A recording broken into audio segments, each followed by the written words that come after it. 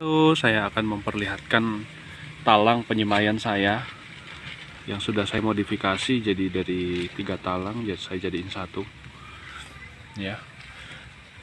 Ini yang saya cubit di tengah-tengahnya menggunakan gunting.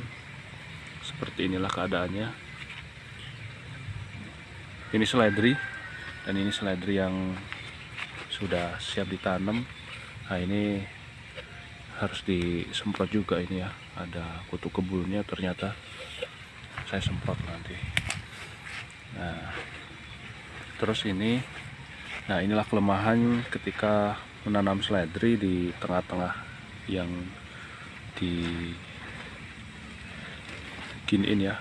Nah banyak yang tidak tumbuh sahabat. Bukan berarti nggak tumbuh sebenarnya. Belum belum tumbuh semua sahabat ya Nah, sebenarnya sudah sebenarnya sudah waktunya tumbuh. Tapi bisa kita lihat nih. Tuh. Seperti itu kondisinya. Jadi saya sarankan seperti ini. Jadi seledri. Nah, ini sudah sudah mau tumbuh nih.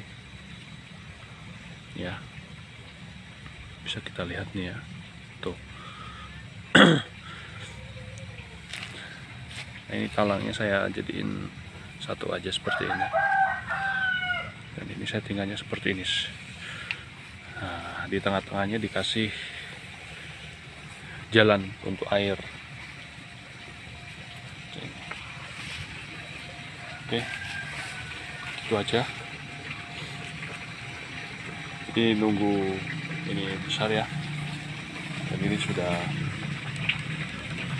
eh, daun dua ada yang daun tiga juga. Seperti ini. Dan ini ada yang belum tumbuh. Kita tunggu aja sampai tumbuh. Sampai situ.